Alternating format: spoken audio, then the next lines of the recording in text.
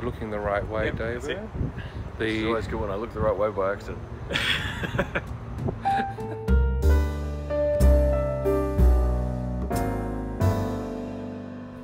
Hi everyone, episode 297 of the Adelaide Show comes out tonight, and our special guest this week is David Olney. Hello, David. Hello, Steve, and good evening, listeners. Yes, you know what? We um, uh, uh, Nigel Dobson is back with us again. Hi, Nigel. Hello, listeners. Uh, of course, Nigel came back because it's his favourite topic, dystopia. So, David, what do you lecture in? I lecture in all sorts of things, ranging from complex problem solving through to international uh, sort of relations and security and strategic culture. Right. Hence the dystopian aspect of our discussion tonight. But it's not all doom and gloom, though, is it? We talk about how the world is not really focusing its military efforts the correct way.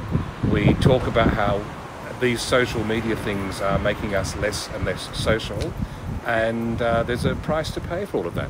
There's a price to pay for having power and not using it wisely.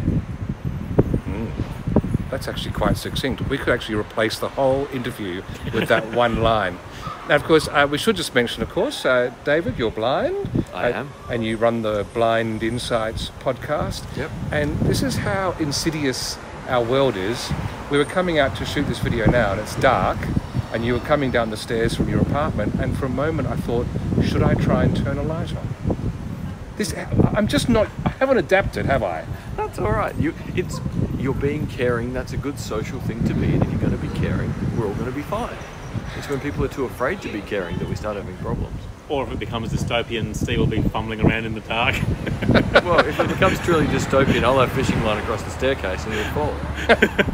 And there you go, episode 297. We do have a song from Alison Newman to finish off with. We've got Wine from Hollick in Coonawarra it's an interesting show, and you may want to drink a lot of that Hollick wine uh, about midway through, I would uh, estimate. Uh, thanks for being on. Thank you for the invitation, and look forward to next year. Adelaide, Adelaide, Adelaide, Adelaide, Adelaide.